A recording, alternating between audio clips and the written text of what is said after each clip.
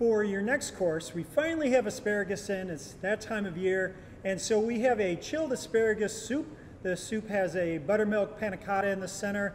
It's all covered in a granola that's made with uh, wheat berries and wheat berries and sumac. So the sumac we forage, of course.